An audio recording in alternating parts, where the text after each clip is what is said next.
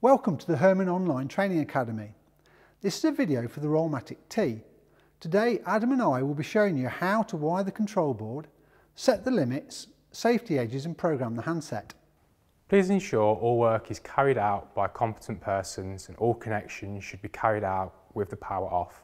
If removing the plug, final connection should be made by a qualified electrician. We're now going to look at how to wire the Rollmatic T with a wireless safety edge.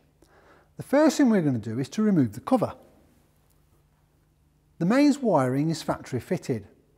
Here you see the connections for the motor. You've got earth, brown going into one, black going into two and blue going into three. This is for a left-hand motor. For a right-hand motor you need to swap the brown and black cables over.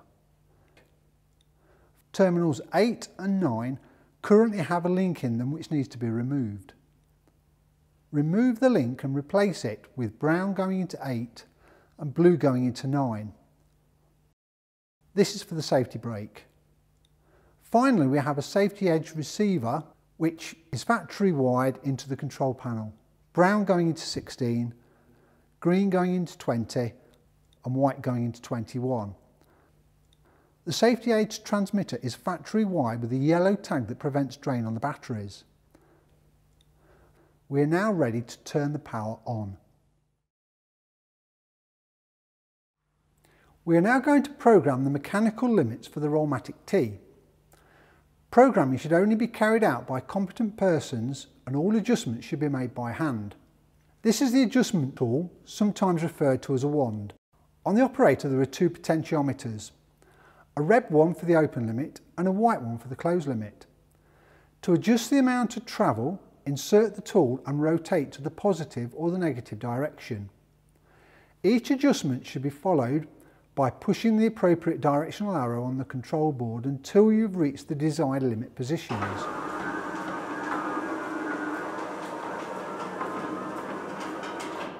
Finally, once the door is set to the correct opening and closing positions, Turn on dip switch 1. This turns the operator into impulse control.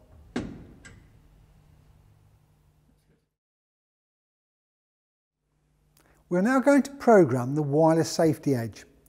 It's important this is only carried out by a competent person as removing the cover will expose mains voltage connections.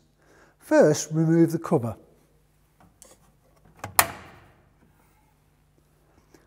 You'll see a program button. Press the program button on the receiver until you hear a single beep. Press and hold the transmitter button on the safety edge for a few seconds. You'll hear another single beep.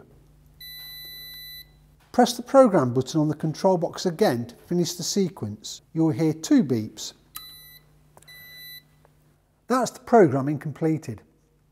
If you wanted to delete the safety edge transmitter from the control box, for example if you were replacing it, you need to press and hold down the program button on the receiver. Whilst holding it down, short out the two terminals with a screwdriver. The unit will start to beep slowly, followed by a rapid beep.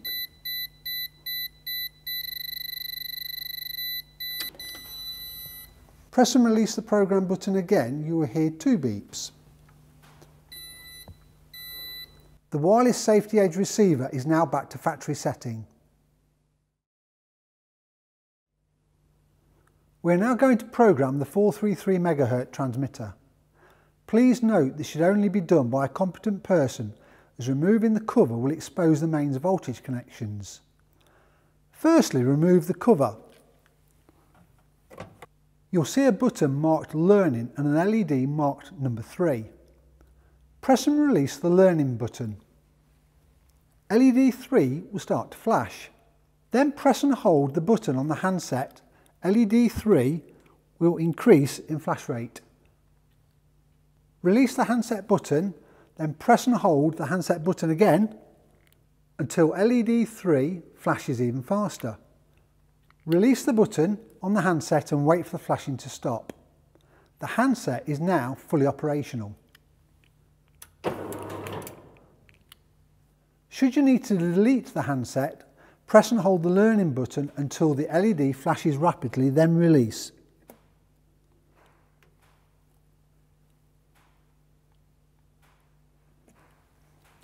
The handset is now decommissioned. Thanks for watching this presentation.